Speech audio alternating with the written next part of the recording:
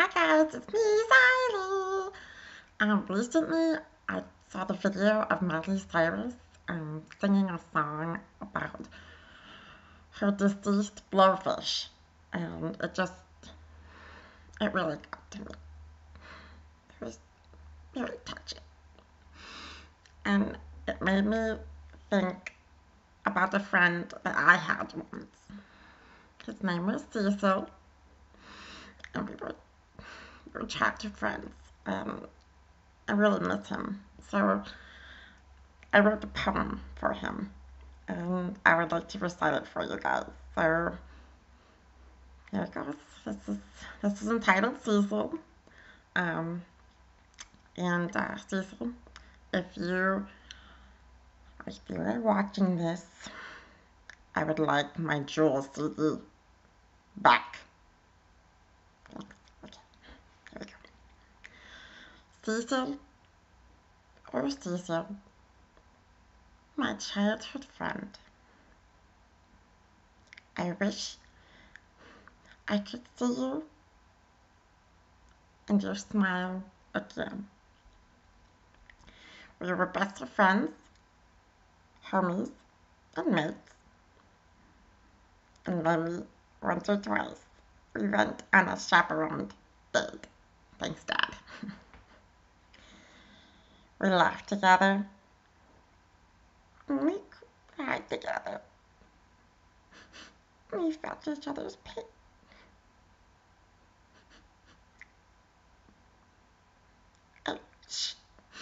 You were here when I heard the news about One Direction's saying,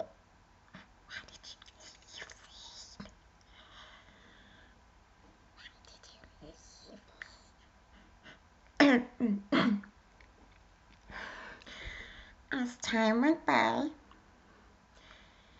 as we grew older, I guess our feelings had changed, or I lost my smolder. no, that's not it. I still got it. I still got it.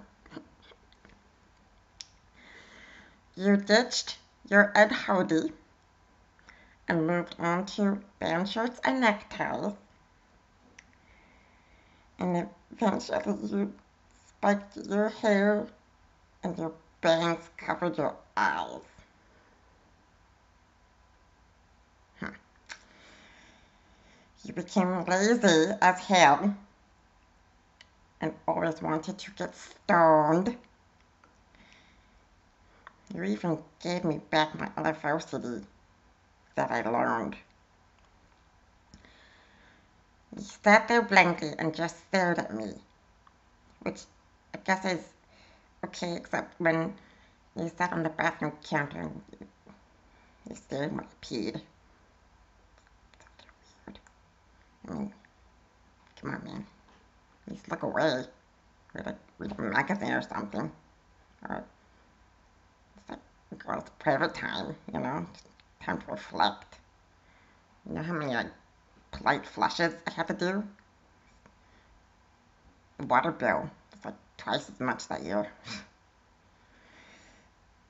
you stopped coming to school with me, and when I came home around four,